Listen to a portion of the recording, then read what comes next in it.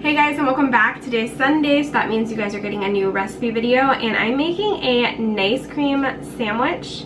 Um, you guys are going to be really impressed by this because the kitchen tool is pretty awesome. So I found this on Amazon. It makes your ice cream sandwiches and how when you open it, it's two silicone pads and then the inside of it is this plastic and it's going to help us build and create ice cream sandwiches. So we're gonna make an ice cream sandwiches because again, we're keeping this hopefully plant-based, of course, and we want this to be health promoting, but every once in a while, having an ice cream sandwich is a pretty nice treat, so I wanted to share this with you guys.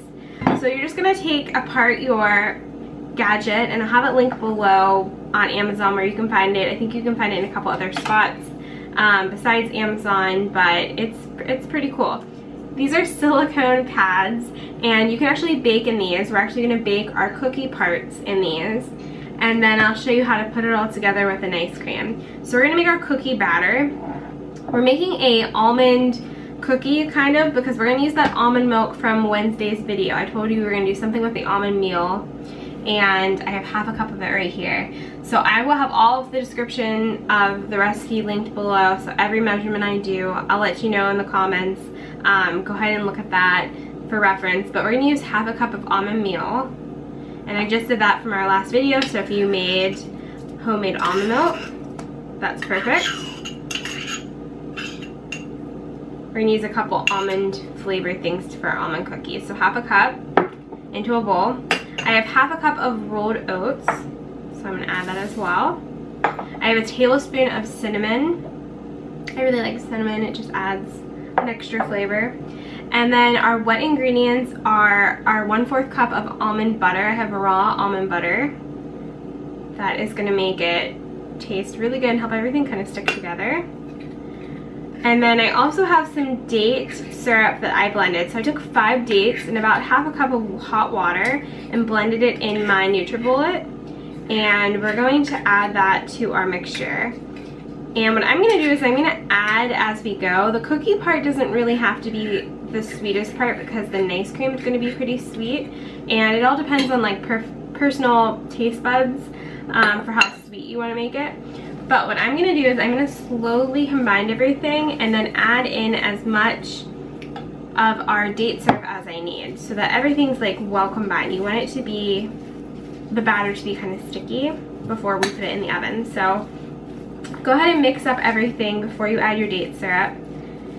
Everything is starting to stick together from the almond butter. And I'm just gonna go ahead and add a little bit at a time. Because I really want the almond flavor to be the real showstopper. And then if I can use the rest of this, I can put it in the fridge and use it throughout the week for my sweetening agent because it's just dates.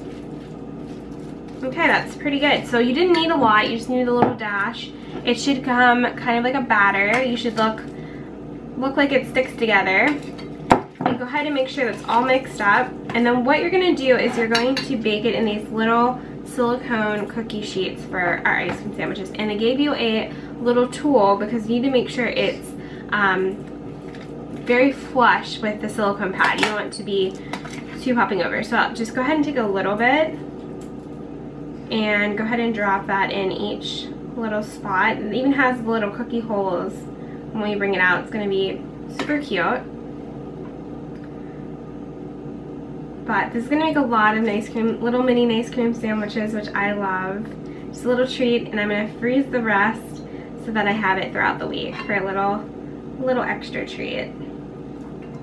And I think this is perfect because summer's coming to an end and not that you can't make this all year round but you can make these flavored um, we're going to keep our nice cream sandwiches pretty simple today with just bananas but you can make chocolate nice cream sandwiches peppermint for the holidays. We'll have to do a lot of different kinds. This is just like an almond cookie for the first one and then we'll do the rest. So I'm gonna go ahead and do the first cookie one first and I'm just gonna smush it down. And you can use your fingers for this. If it's your hands are clean and it's your cookie you're gonna eat, you know, why not? There's just this tool to kind of make sure it's staying flush with it. And then you can preheat your oven to 375 degrees. We're only gonna bake these for about 12 minutes. Um, just keep an eye out because everyone's oven is a little different, different than everyone's. You may have an older one, so just pop back. They don't take much time at all, so you don't want to walk away from it. But go ahead, it's, this is the tedious part, is just making them fit inside this cookie mold. So I'm gonna go ahead and do this and I'll show it to you guys when it's all done. Just to give you an up close look at the cookies before they go in the oven, but that's what I mean. They're nice and fitted in there. I'm gonna go do the second one and then we're gonna pop it in 375 for 12 minutes. While the cookie bakes, we can make our nice cream. So I just cut up about, it's about two and a half large bananas that I had frozen. So you're using frozen bananas, that's very key. Okay, go ahead and put those into your blender. High-speed blender, my Vitamix is perfect for this. I really like it. I'm gonna do, now you can do whatever flavors you want for this, which is why I love this. You can put pumpkin pie spice in it, make it a pumpkin flavored one.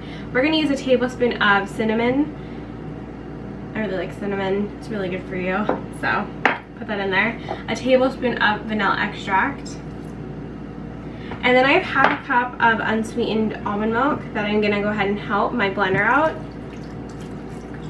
And then all I'm gonna do is go ahead and, and combine this really well. I'm gonna use, um, there's this little tool when you buy a Vitamix that comes with it.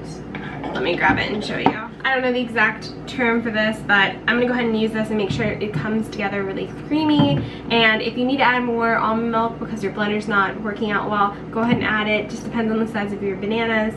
Um, but this is a really nice, good base for making ice cream You just want to blend until everything comes together. Now mine is to be like, looks kind of like it's chocolate. It's not. Um, it's just because my bananas were kind of browner when I froze them. Um, and I use cinnamon, so it doesn't make the prettiest ones. But if you use uh, really nice, you know, white bananas, whenever you do it, it should make that vanilla looking substance. It won't look like mine. Um, but I don't mind. It's really about the taste for me. Um, so I'm going to go ahead and put this in the freezer while my rest of my cookies cook and I also want to let them cool down before we do anything with them. So that gives a nice time for this to kind of get nice and hard again and not be so creamy. But you just want it to be a nice kind of, it's still not coming off very easily. It's thick, but it's all nice and well combined together. That's really the consistency that you want for an ice cream. I'm going to go ahead and put this in the freezer. When your cookies come out of the oven, this is what they should look like. It's nice and brown on the outside, but still a nice color on the inside. But I'm gonna let them cool down now to touch before we do anything with the ice cream. But they look really good. Once your cookies have cooled down, you wanna put back in this little contraption. So this is going to be kind of like the area that you put your ice cream, but it keeps it all all put. So we do need to clear out some room in our freezer because these are going to go into the freezer for a few hours. But go ahead and um, carefully put back on, it goes on pretty easily, this white part. Okay, and once it's on well, we are going to um, put our ice cream. Now, instead of flipping this over, what I'm gonna do is I'm gonna carefully pop out my cookies and then I'm gonna put them flipped over. I'll show you guys how I do it, but this just ensures that they're not gonna break. So I'm gonna go ahead and pop these out and they make the cutest little cookies ever. And this will just help me whenever I go to assemble it and put it back in, just so they don't fall apart. It's a little trick I've learned.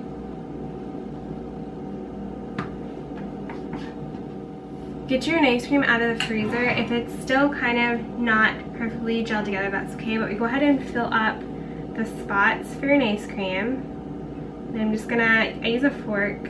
I don't know why it makes it easier, but go ahead and fill in the white part of your kit. And then you're gonna place your cookie face down on top. Go ahead and do that for all of them and then we're to put the top of it back on and we're to stick this back into the freezer for a few hours. Of course, the longer you leave it in the freezer, the more hopefully it'll stay together. But I'll show you guys when we're done. Go ahead and fill up your ice cream containers now. Then you just want to put this part of the silicone back on top. Should go on pretty easily. And it just clips in. You'll know that it's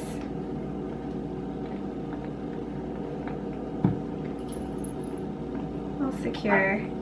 Just gently press it down my fingers. When it's all set, you can go ahead and put this in your freezer for a few hours.